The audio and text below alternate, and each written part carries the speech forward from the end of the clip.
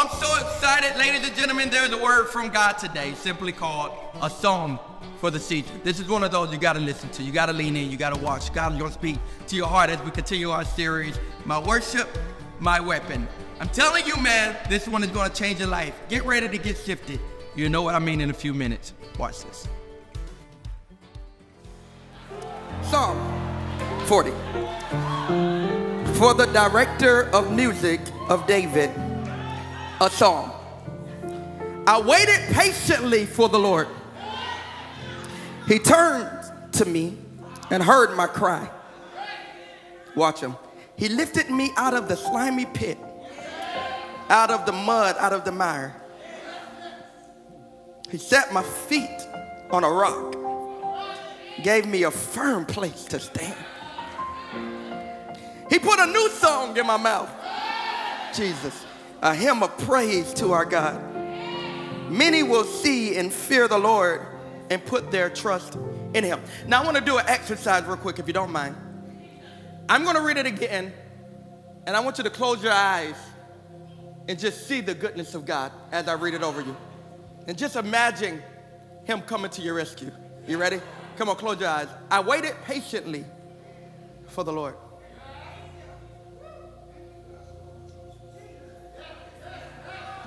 And he turned to me. My weeping wasn't in vain. He heard my cry. I was sinking, but he lifted me out of the slimy pit, out of the mess I caused out of the mud, out of the mire. He set my feet on a rock and gave me a firm place to stand. I was out of words, but he put a new song in my mouth. A hymn of praise to our God.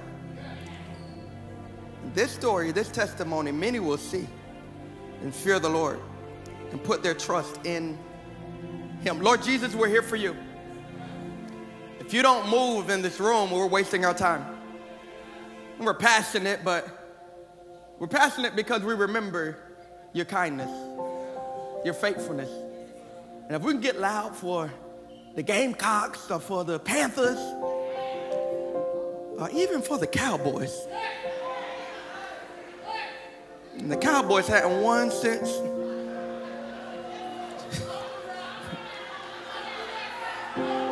And if we can get loud for losers, then we can get loud for the victorious one.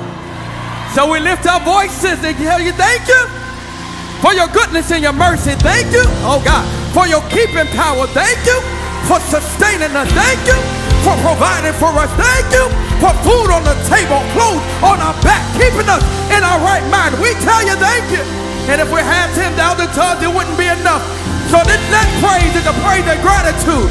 We won't ask you for anything. We'll tell you thank you for what you've already done. Help me. 10 seconds online in this room. Clap your hands, all ye people, and shout unto the Lord with a voice of triumph. Thank you, Lord. I got a message from God for you. And it's simply called a song for the season. Do me a favor, tell three people on your way to your seat, you got to get a song for the season. Tell them you got to get a song for the season. Got a song for the season. Hey, Slim, Slim, I want you to get this shot right here of the lady in the green. Hey, uh, ladies and gentlemen, I have to say this because I don't know how many times I'm going to get to say this, but I'm so honored that my 93 year old grandma is here. 93 years young. Still in the house of God, still serving them. Come on, y'all make some noise before she fall asleep.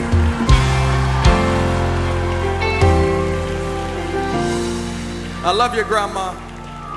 She about to get some good sleep. But she here though. She didn't sleep doing that music. That bass was hitting grandma. Grandma, oh Jesus. now that it's calm, she about to get some good rest in peace, grandma. Live in peace, that is. A song for the season. Song for the season. You got to get a song for the season. Now, I'm excited about this message, but before I jump into this message, wave your hands if you was in the room last week or you watched online. You caught it on YouTube. Come on. Yeah, last week I preached a message called Welcome to My Space.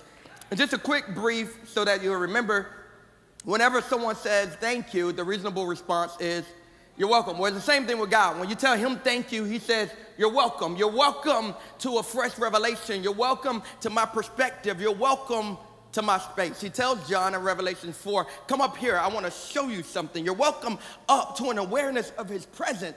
You got to understand, God is everywhere. He's always present, but many times we're just not aware that he's there. Worship heightens our awareness. I gave you last week 10, no, see, it was a test. I gave you my top eight, top eight reasons to worship, and let's just review. Number one, worship opens your eyes. I love this. There's a story in 2 Kings chapter 6 where the army is coming to get Elisha. And the Bible says that the, the servant was, was panicking. He comes to Elisha and says, Oh, yeah, they're coming to get you. And Elisha prayed a simple prayer. He said, Lord, open his eyes so that he may see. His eyes were open and he recognized that there was an army surrounding the army that was coming after him. Worship opens your eyes. Number two, worship lifts you. You get an aerial view. You get to see things a little differently. As we lift him, he lifts us. Number three, worship is our purpose. We were created to worship. It's so natural to us that even if you don't worship God, you'll find something to worship. That's the only reason idol worship exists because it's in your nature. So if you don't worship God, you'll find someone or something to give credit to. Yeah, it's, it's our nature, it's our purpose. Number four, worship is forever. When we sing a song here and when we're jumping and leaping and when it's loud, can you imagine? Can you only imagine how amazing it is in heaven? We're joining an eternal worship service. It's ever existing. The Bible says the 24 elders and the four living creatures, they do not stop crying, Holy, holy, holy is the Lord God Almighty who was, is, and is to come. The reason they continue to cry holy is because his beauty and his enormity and his massiveness demands worship. It requires it. It's, it's a requirement in his presence. Worship is forever. Number five, worship produces joy. I love this verse in Psalm 16. It says that in the presence of the Lord, there's fullness of joy. Ladies and gentlemen, that means that partial joy exists outside of the presence of God. This is why the devil don't mind you doing anything but worshiping God because he's trying to keep joy away from you. And if he can get joy away from you, according to the Bible, he can get strength away from you. For the joy of the Lord is my strength. Haven't you found it interesting that you can do anything other than worship undistracted? You can watch your favorite show on Netflix. The kids will leave you alone. The dog stop barking. Everything is nice and comfy.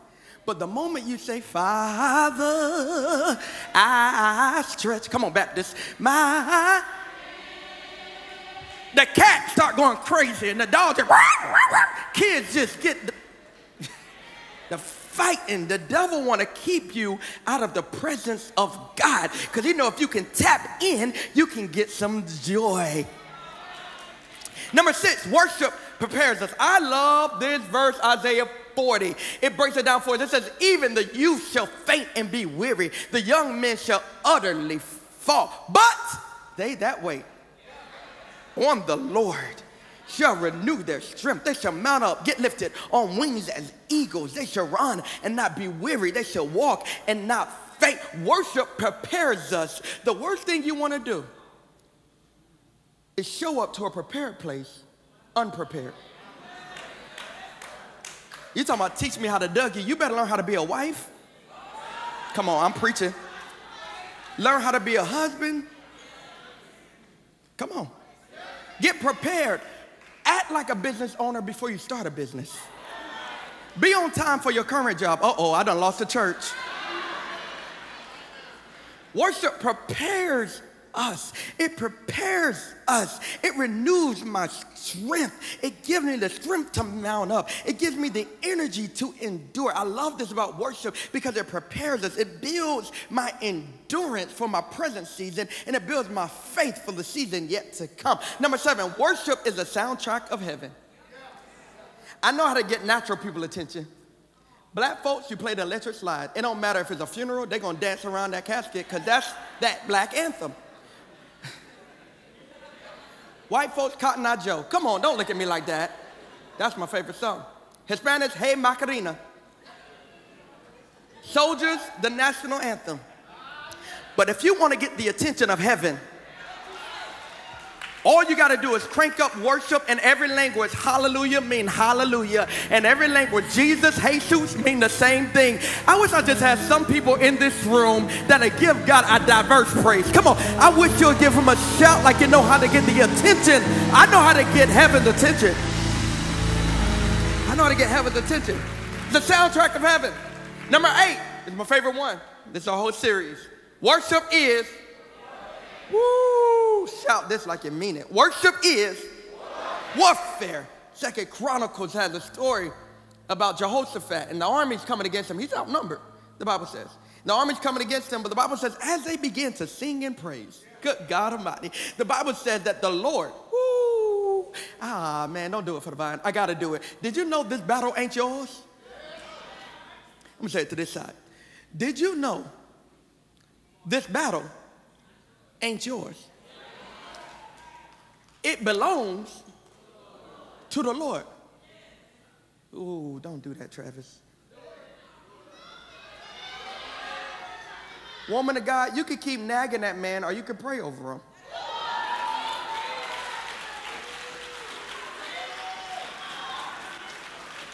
I believe in discipline, but if some demons you're not going to beat out of that child, you got to. The Bible says, as they begin to sing and praise, God did something that man couldn't do. Good God Almighty. There's some things that I can do in my own strength, but every now and then I need a God who is stronger than me, who's wiser than me, who, who, who has more resources than me to step in on my behalf. Is there any worshipers in the room that know how to get to heaven to war on your behalf? And so, over the next several weeks, this is what we're dealing with worship. My worship, my weapon. Worship is an acronym. Now, I'm not going to tell you what all the letters mean. You're going to get them every week. That's why you got to come to church. But W last week was welcome to my space. And the S this week is song for the season. Song for the season. Let's break this down. Worship can exist without music. Ask me how I know. I know because it's the law of first mention. In the Bible, the first time the word worship is used, you got to hear this, is in Genesis 22. In Genesis 22, God instructs a man by the name of Abraham to take his only son, whom he loved. Not only is the first place worship is mentioned, it's the first place love is mentioned in the whole Bible. Same chapter. Take your only son whom you love to the mountain to sacrifice him. It was a test. Uh, Abraham gets to the foot of the mountain with his servants. He turned to tell his servants, Stay here.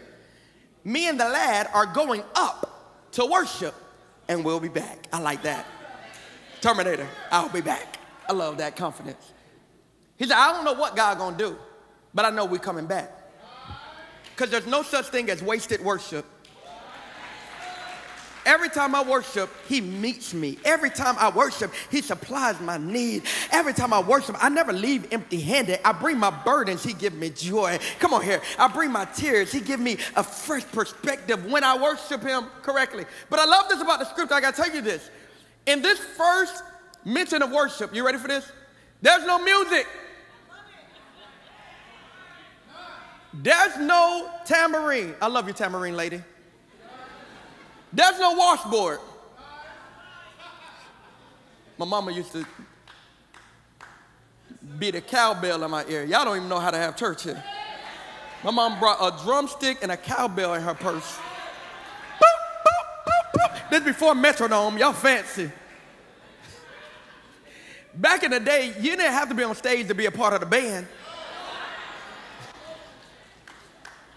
Everybody had instruments. Mama had a cowbell. Mama, where that cowbell? Bring your cowbell next time you go. I, I, would, I would enjoy that. We're going to put you right here on the side of the stage. There was no cowbell, there was no tambourine, there was no keyboard, there was no guitar, there was no drum, there were no instruments. There was just sacrifice. But beyond that, because I used to think, like many of us, that worship is sacrifice. It's not. Ask Cain, he sacrificed. God didn't want it.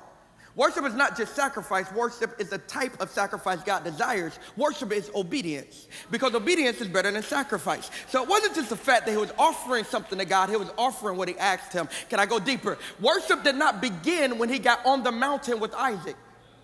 Worship began when he took one step in obedience. And this word is for those who feel like you got to have manifestation for God to be proud of you. That's not the Bible. God is proud that you took one step. Though a righteous man falls seven times, he gets back up. This is not a church that's going to condemn you just because you got it wrong. Baby, you took a step. If only we knew what you had to go through even to get here. I'm not judging you for not standing up and for not clapping. I'm just glad you're in the house of God. You took a step. And can I tell you something? Every time you take a step, God takes a step. Every time you take a step, provision takes a step. Ask me how I know. Now, I'm gonna plagiarize. I didn't come up with what I'm about to say. A guy named Bishop Thomas Dexter Jakes said this. He's probably right. He said, T.D. Jakes said, he believes that every step Abraham took up one side of the mountain, the ram was taking up a step on the other side of the mountain.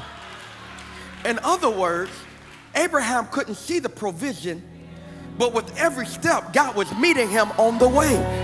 And if you don't know the story, what happens is he get up there to sacrifice his son, and there's a ram caught in the bush. And this is where we get the name Jehovah Jireh. God provides. Provision met him at the place of worship. And I don't know who I came to preach to. I'm not going to suppose or assume it's you. But if anybody in this room need provision to find you at the top, I dare you to lift your hands right where you are and say, God, I'm taking a step in worship. I'm going to obey you even when I can't trace you, even when I don't understand you. I will bless the Lord at all times, and His praise will continually be in my mouth. Oh, magnify the Lord with me. Let us exalt his name together. When I worship, I'm giving God my obedience. Oh, man. And obedience woo, looks different to man than it does to God.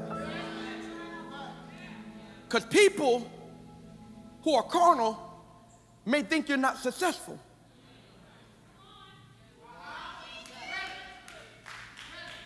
But you can be broke and in the will, and you can be rich and rebellious.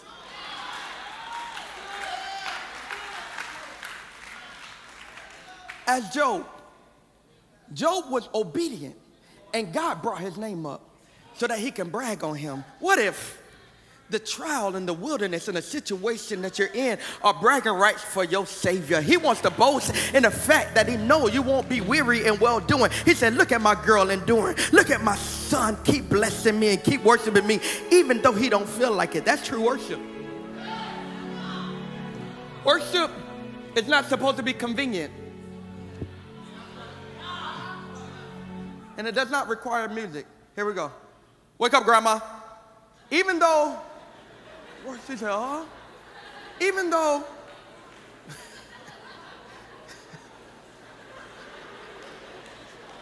I'm weak. Even though worship, even though worship, I can pick on her. She can't beat me no more. She can't. She don't have that. She don't have the agility like she used to. I can. Come here. Even though worship does not require music, the Bible is very clear that God enjoys the sound of worship. It's a sound. Make a joyful noise. There's something about a sound. This is why you got to find a song. Because when you don't know what to pray, you can find a song. When your strength is fading, you can find a song. When temptation is knocking at the door. Come on, don't look at me in that tone of voice. Some, some of us invite temptation because we're listening to the wrong thing. I'm not even trying to judge you. But if you already know you're weak, why would you play my mind is telling me no?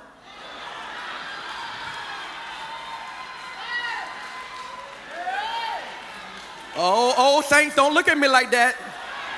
Come on, I'm coming for the Marvin Gaye spirit too. Let's get it on. Ah, baby. No, let's not get it on. Let's turn it off and turn on some worship.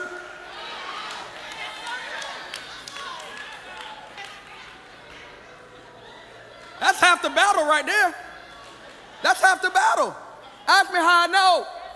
I had to change the soundtrack. That even when temptation was knocking, my spirit, because of the atmosphere of worship, wouldn't agree with even what my body wanted. I wish I had a witness in here. I'm not telling you the craving's gonna go away. I'm gonna tell you you can drown them out with some worship. My God, is there anybody in this room that ain't too bougie or religious to remember that it was a song that got in your spirit and helped you? And I love this about God.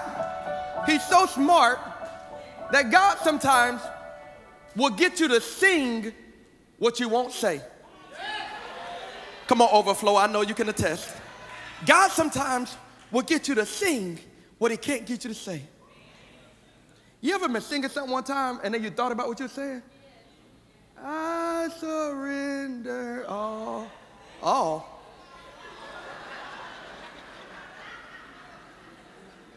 Take everything. I don't want. Wait, I actually do kind of want that though. He'll get you to sing what you won't say, because you really said, take Terrence.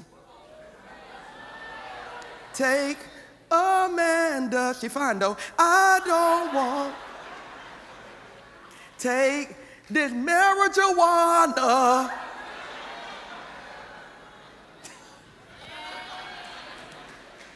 come on, come on. Gotta get you to sing what you won't say yet. That's why everybody needs a song for the season. Because seasons change, man. But you can't lose your song. Ecclesiastes 3, I got to speed up, says this. It says, To everything there is a season, a time for every purpose under heaven. And I'm gonna tell you guys, I'm so excited about this series. We're speeding up the messages, we're condensing them, making them quicker, because at the end, we're gonna respond with worship. We're gonna open it up and you can come back to the front to worship. And just like last week, we're gonna do this every week. There's gonna be shorter messages because we want to engage in worship at the end of it. And if you leave early, we will stone you in the parking lot.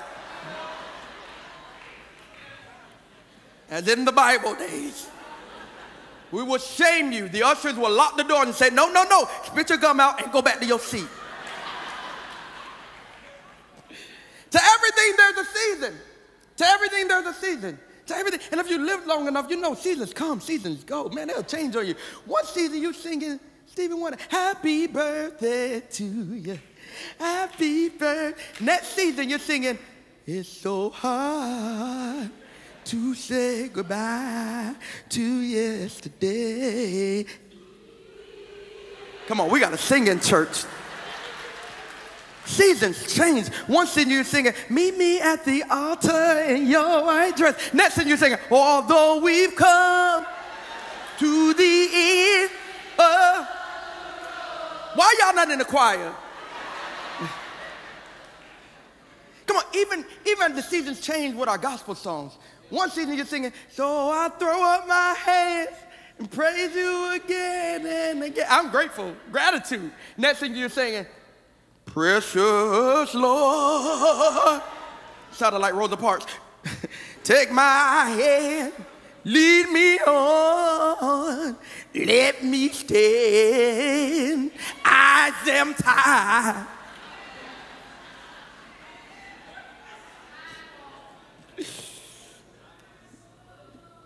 She can't let that go. She got a song of her spirit.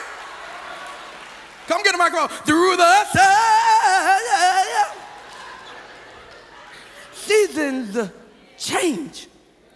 You can have a high moment and in one day it becomes a low moment. Seasons change. That's why you got to find you a song for the season. And you never know how quick seasons change. You can be holding a grudge today, and then tomorrow it's too late to reconcile. You could be putting off family time. When I retire, we'll take a family trip, but you don't know if everybody in the family photo will still be alive when you retire.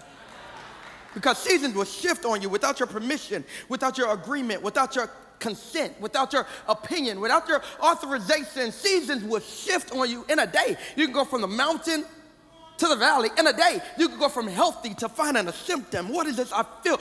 In a day, you can go from your marriage being great to one bad night, one poor decision, and your season shifts on you. But I got good news if you want to hear it. As quick as a season can shift south, you serve a God who can shift that season in your favor. I like to call him the season shifter. Does anybody know the season shifter? This God of mine is able to take your weeping, though it endure for a night, and shift it to give you joy in the morning. They that sow in tears, God can take those tears and shift it so that you reap in joy. That God can shift your mourning into dancing. He can shift your sorrow into joy. He can shift you from the borrower to the lender, from the back of the line to the front of the line. I wish you'd grab your neighbor and tell him it's my shifting season. God can shift what the enemy meant for evil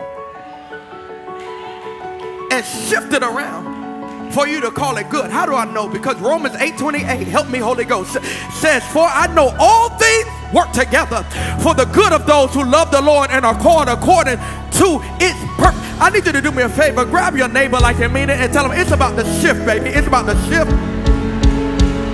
Oh yeah, oh yeah, it's about the shift.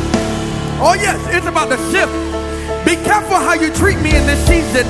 God's about to shift it. I'm holding them up today. I'm signing a check tomorrow. God's about to shift it. I know I don't look like much. I know my car breaking down, and I know you don't want to stay at my place. But homegirl, God's about to shift this thing and turn it around in my favor. If you know you serve the shifting season, God, give them a good sound in the room. There's more to me. There's more to me than what meets the eye. And maybe you're going to hit somebody. Maybe, perhaps, this is why you feel so agitated in this season. This is why things that you used to enjoy now annoy you. Y'all used to stay up all night on the phone and just hear each other breathe. Oh, it's something about the way he breathed, child. Three o'clock in the morning. You up? I'm still up. I'm still here. I just. And now when the name pop up, you're like, ooh, I ain't got time. What happened? Something shifting in you. And God will always shift something on the inside before you shift something on the outside. Ooh, I wish you'd grab your name and tell him God is getting ready to shift you. God's before he shifts the season, he shifts something in you. And so don't back down. Don't run away. Don't go into hiding when God starts bothering stuff. I want to give you a scripture that Jesus said that maybe you never read like this. It's in red. And you can't just read your Bible. You got to read your Bible. Luke 6 says this. Give and it shall be given unto you. Watch the Bible. Good measure. Press down. Hold on. And running over. Before there's overflow, God got to shake some stuff. Did you hear what I just said? Some of y'all saying, God, I'm ready for overflow. God said, but can you last when I'm shifting and shaking? Some, I'm shaking the leaves so the ones that don't belong can fall off. I'm shaking relationships. I'm shaking status. I'm shaking what you thought you needed because I'm getting ready to open up the windows of heaven and pour you out a blessing you can't receive. I wish you'd put your neighbor in the kneecap and tell him, let him shift it. Let him shift it. Let him shake it. Let him break it. Let him you got 20 seconds. To lift your hands and tell them, shift what you want to shift. Shake what you want to shake. Change what you want to change. Break what you want to break. My storage is empty. I am available for your shift. I'm available for your move.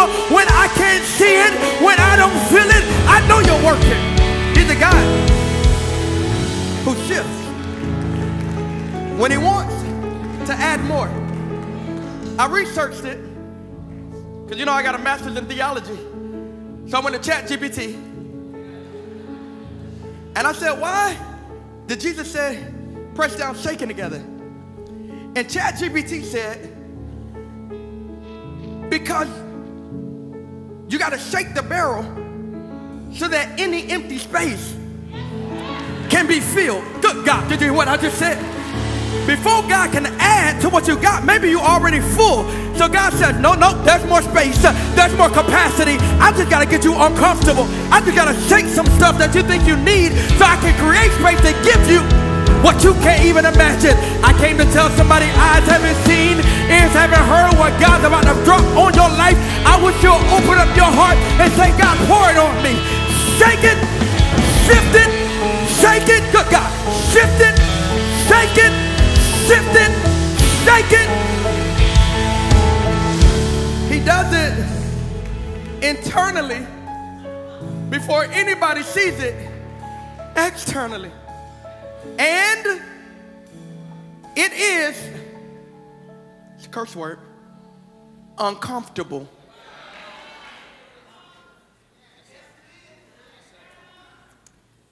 One indication that it might not be God is if it's too enjoyable.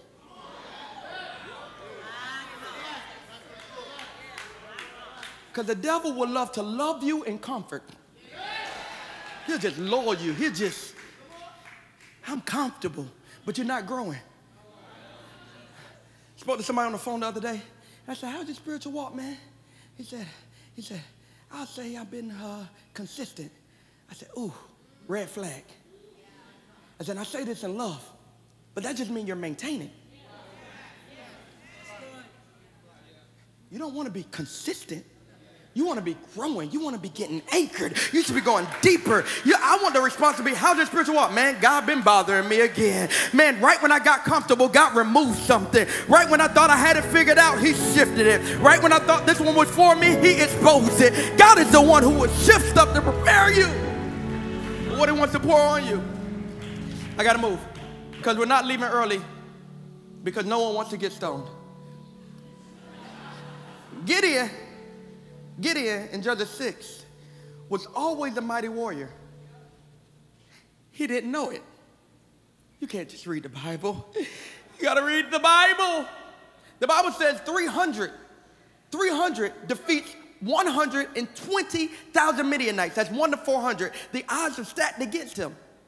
But before God shifted the 300, he shifted Gideon in the winepress. Before God shifted Jericho's wall, he shifted Joshua at the tent of meeting. For the Bible says in Exodus 33 that when Moses would meet with God as a friend meets face to face, the Bible says when Moses would leave the tent, Joshua would stay. Can I tell you something? Joshua wasn't just staying there cleaning up. Something was shifting in him to prepare him for what God was about to do on the outside. God would shift you before he shifted it. Did you hear what I just said? God would shift you before he shifts it. Are you praying for the wrong thing? Instead of praying, God, change this situation, God, change me in the situation. Not God, fix this, fix me. And so before God shifts Israel from the hands of Saul to the hands of David, he has to shift David. And this brings us to our text. The Bible says in Psalm 40, verse 1, I waited patiently for the Lord. He turned to me and heard my cry. See, David learned how to wait on God. He learned how to wait on God. He learned how to wait on God. See, when you think about waiting, you think about looking at a clock. That's not waiting. Waiting is serving. And David knew how to serve God. Any waitresses or waiters or ex-waitresses or waiters? Come on, anybody in here? Come on, wave your hands. If you work at Hooters, wave at me. Put some clothes on. I'm trying to eat my wings. Have you ever, my wife and I just figured this out and it's so annoying. Have you ever gone to a restaurant and the waiter was horrible the whole time? You choking. They see you choking and won't bring you no water. Everybody else getting bread. All I want is some warm bread. Horrible. Ain't it funny that when they come to bring you that bill, miraculously, Oh, what a cute baby you have here. I pray you have a blessed day. May the Lord watch between me and thee while we're absent. Get away from my table. Ladies and gentlemen, that's not waiting, that's manipulating for an outcome. And many of us treat God the same way. We think we can have any kind of attitude, any kind of temperament. We think we can be nasty. We think we can have a, I don't feel like it today. I just don't feel like, that's why, God. I just don't feel like being nice. I got time today. And then we come to church. And we put on our Christian lingo, hoping to get a tip from heaven. And God said, I've been sitting here all week and you wouldn't host me and you wouldn't wait on me and you wouldn't worship me. Why do you have to wait till you get in church with people jumping around on stage to finally give me a praise? Don't you got a CD player? Don't you, but beyond that, don't you got a mouth? Ain't your voice the instrument? I wish I had somebody here who knew how to wait on God. Now I look this up. I looked this up and we got to roll. I looked this up. I just had this idea. I said, I wonder who waits on the president. Here's what I found. It's so interesting. The waiters on the president, many times in the White House, they've served there for decades. It's a tradition. But they go through rigorous training, hear me, and they recruit most of them from the Navy. They gotta be trusted because they hear different secrets and they're just around and they gotta be trusted. Highly, highly skilled, highly trusted. They're trained. And I thought, if a waiter will go through training to serve the most powerful man in the free world, how much more of a privilege it is to serve the king of the universe. Ladies and gentlemen, this ain't a burden. Ain't nobody gotta beg me to serve in church. Ain't nobody gotta beg me to give in church. Ain't nobody gotta beg me to clap my hands. That's why we don't do that here. We ain't at the church We say, come on, come on, come on, clap your hands. Come on, come on, come on. If you gotta be begged to worship, you gotta be pumped to worship. David said, I don't need no cheerleader. I enter his gates with thanksgiving. Good God, every time I think about it, I enter his gates with thanksgiving. I enter his courts with. Is there anybody who brought worship with you? You don't need a worship band. You don't need an AB and selection. You came with a made up mind that I will bless the Lord because he's worthy of it. That's why I praise him. Here we go. And I don't need my favorite song to do it. My waiting is my worship. My waiting is my worship. I got to get out of here. The Bible says, Psalm 40, I waited patiently on the Lord. What's the Bible? And he turned. Good God. And he turned. When I wait, he turns. When I wait, I get the attention of heaven.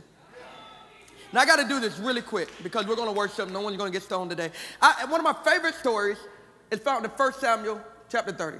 I love this story because it's the story of David. Quick story, quick story. Uh, David comes back to Ziklag after a battle with his men, 600 men. They come back to battle. They come back from battle in Ziklag. Ziklag is very important to David because David's been on a run for over 10 years, right? And so now he has stability. This is where he sets up his military operations. That stability. Has his family here. The Bible says they come back.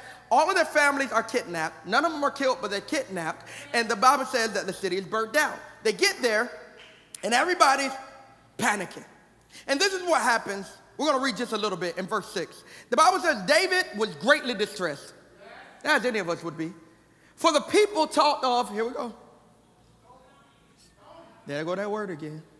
Stoning him. Because all the people were bitter in spirit. The Bible says, I love this. They were bitter in spirit over their sons and their daughters. This right here is my part. But David. Good God.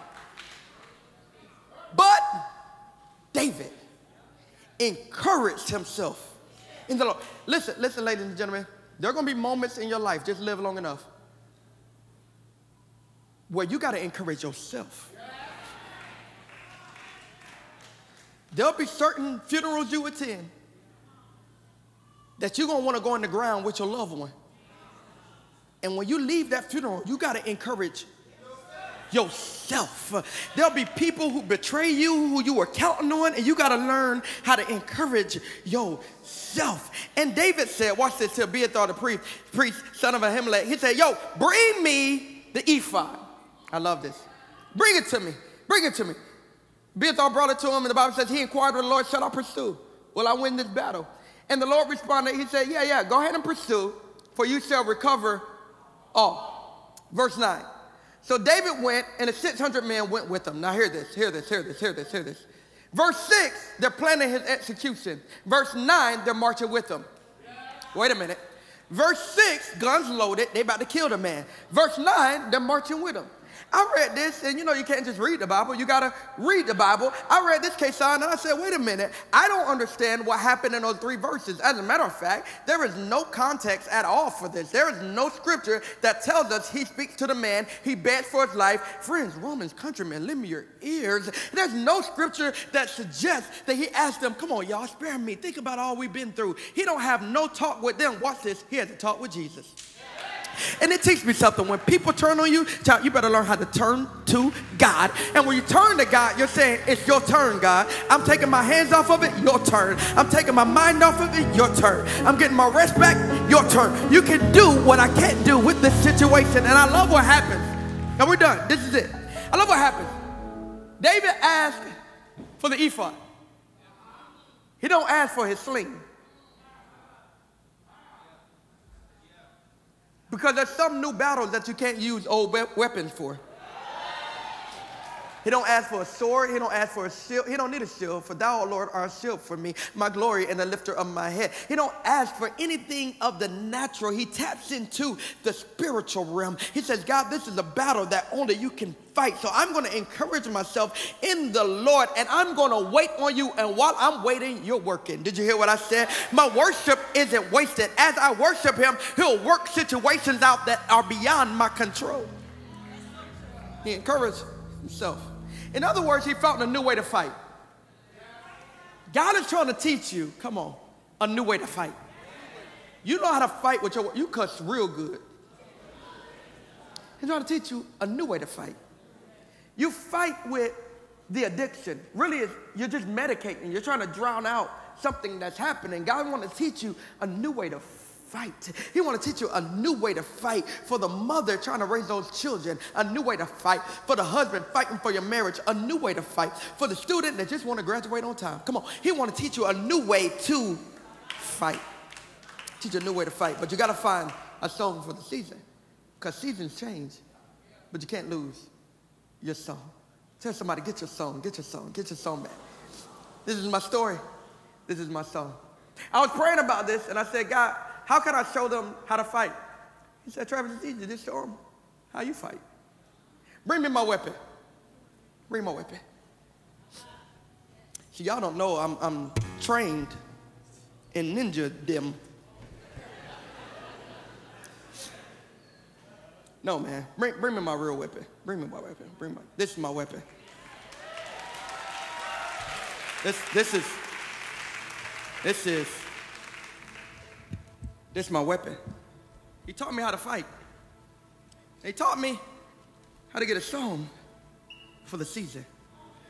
I faced some stuff that words weren't enough. One of those moments where in 1996, my mother was dying. And I remember she would sit me and my sisters down, Kim is here, and she would sit us down and say, hey y'all, your daddy's going. So, you know, the doctor says it's not looking good for me if something happens, call this person, do this. We will always stop her and say, no, no, no, mom, no, mom, don't talk like this. Well, my mom's still here.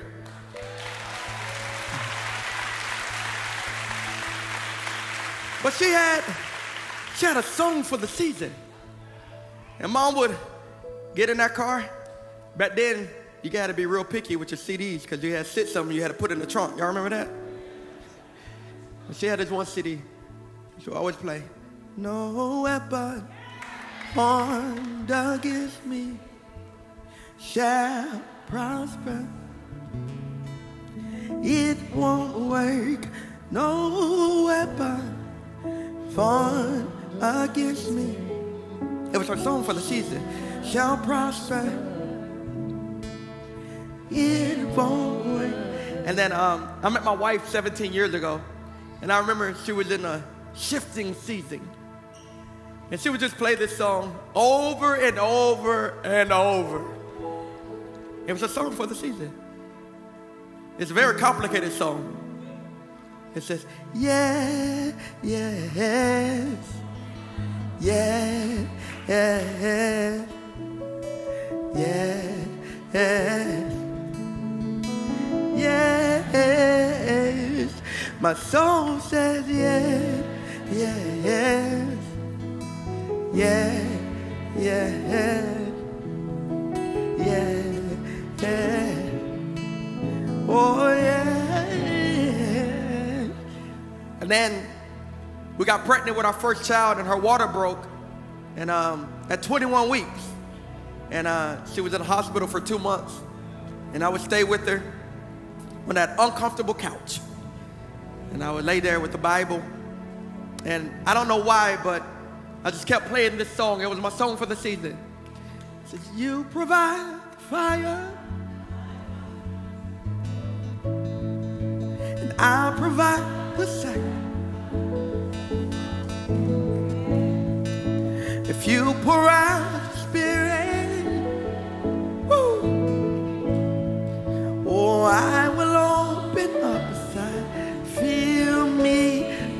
over and over.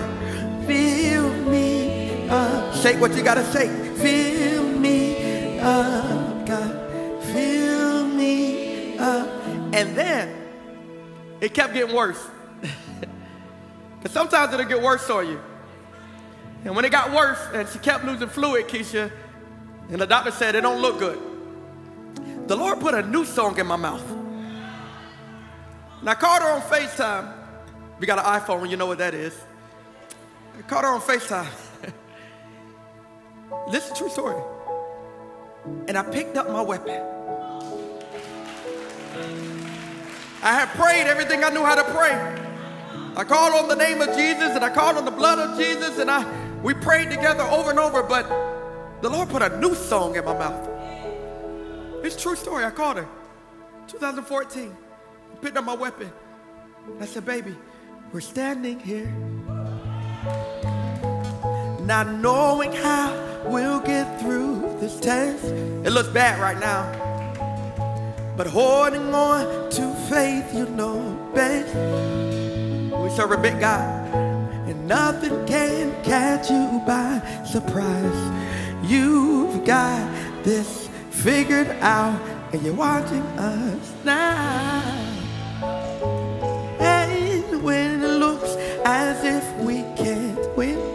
Yes, Lord, somehow you wrap us in your arms and step in. And everything we need to supply, you got this in control. And now we, he put a new song in my mouth. You made when our backs were against the wall and it looked as if it was why you made. Yes, Lord. And we're standing here. Oh, we gotta go, but jump on your feet and help me sing. You move mountains, you cause walls to fall with your power. Perform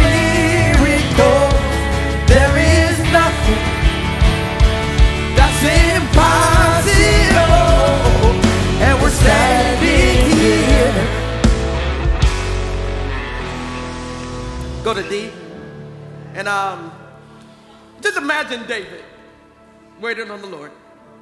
All he see is smoke. 600 men against him.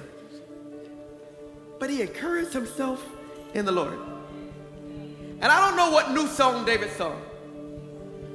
But in my mind, he might have sung, This is how I fight my battle. Whoa. This is how I fight my battle. Whoa. This is how I fight my battles. This is how I fight my battle. Come on, tell them. It may look like I, it may look like, come on. I'm surrounded, but I'm surrounded by you. It may look like I, It may look like I'm surrounded. come on,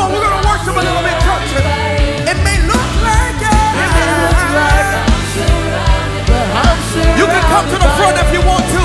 Let's worship him now. look like I'm surrounded. My worship, my weapon. Tell him. This is how I fight my battle. Say, this is how I. That's it, church. This is how I fight my battles.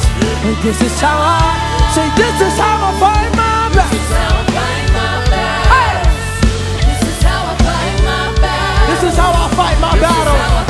I dare you to get out of the aisle and declare it.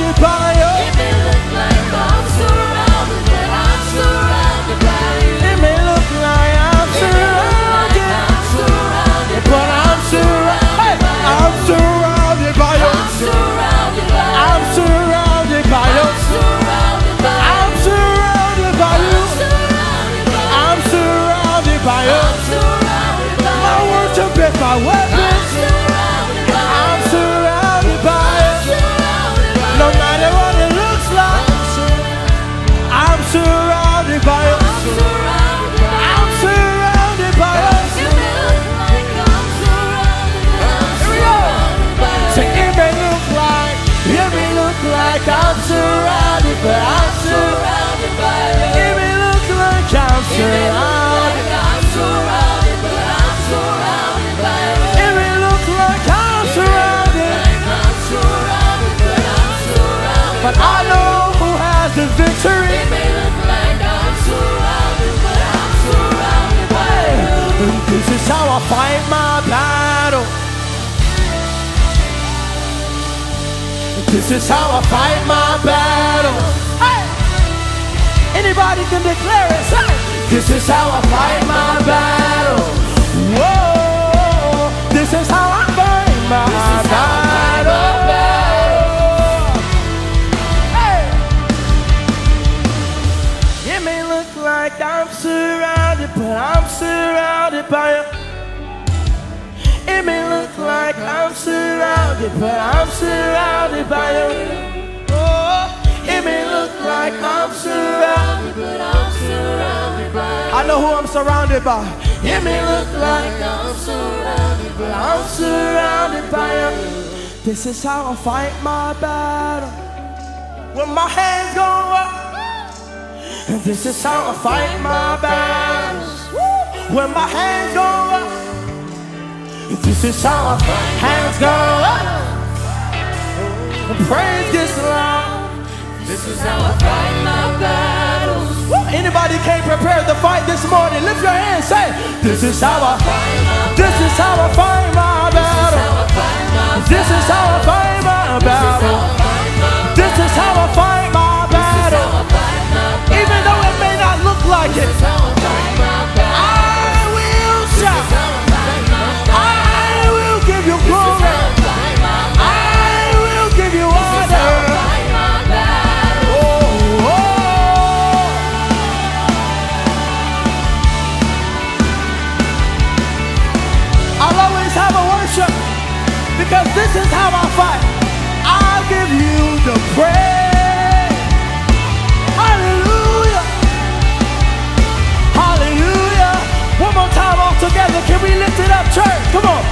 this is how I fight. This is how I fight my battle. This is how I fight my battle. I will not be silent. This is how I fight my battle.